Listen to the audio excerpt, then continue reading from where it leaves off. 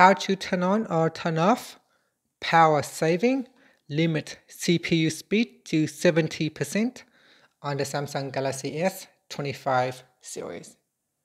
First, tap on the home button to return back to the home screen.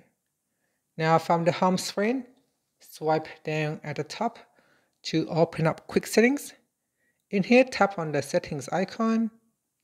Then we scroll down and in here tap on battery.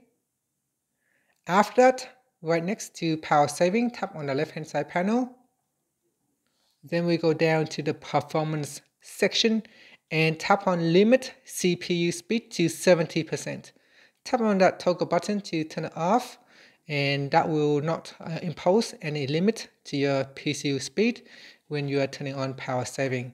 Otherwise, you can uh, switch it on to impose a limit CPU speed of uh, up to 70%. And that's it. After that, you can tap on the home button to return back to the home screen. Thank you for watching this video. Please like and subscribe to my channel for more videos.